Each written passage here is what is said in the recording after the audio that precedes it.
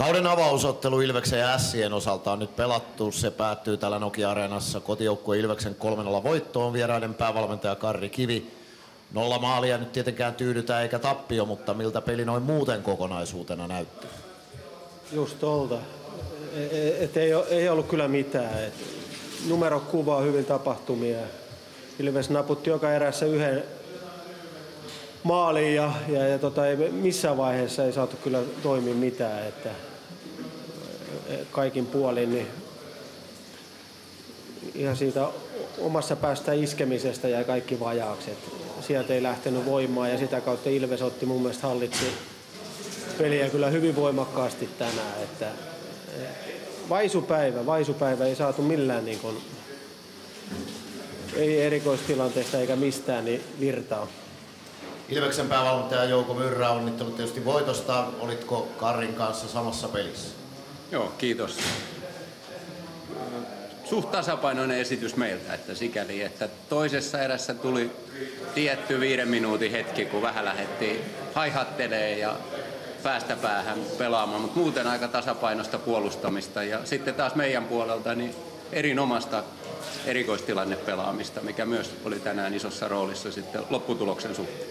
Niin viime viikon CHL-peleissä ylivoimaa hierottiin ja hierottiin ilman tulosta. Nyt se tuotti kaksi maalia. Se oli tietysti varmasti tyytyväisyyden aihe. Totta kai, että, että kyllä se on näissä peleissä erittäin tärkeä juttu ja sitä harjoiteltiin eilen ja tänään piirrettiin vielä flapilla ja, ja se oli hienoa, että siellä tuli onnistumisia.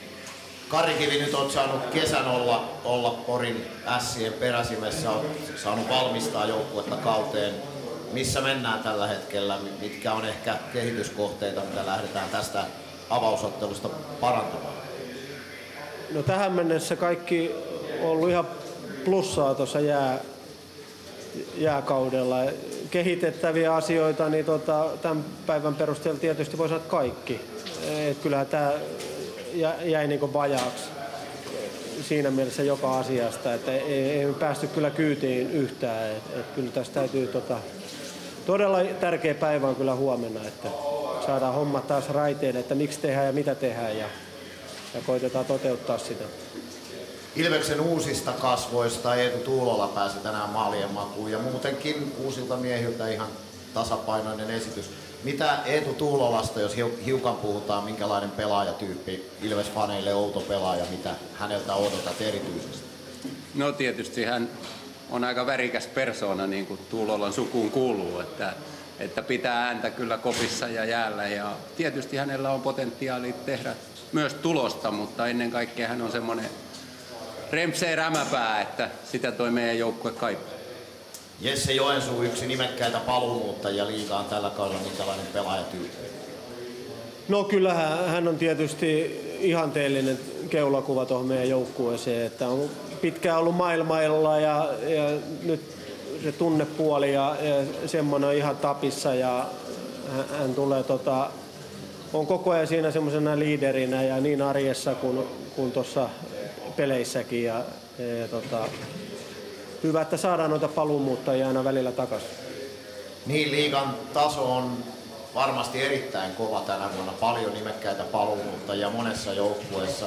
Ilveksellä on tosi laaja rosteri ei varmaankaan ole mitään syytä ajatella, etteikö näillä, näillä äijillä pystyttäisiin menemään vaikka kuinka pitkälle. Se tavoite lienee kuitenkin mestaruus.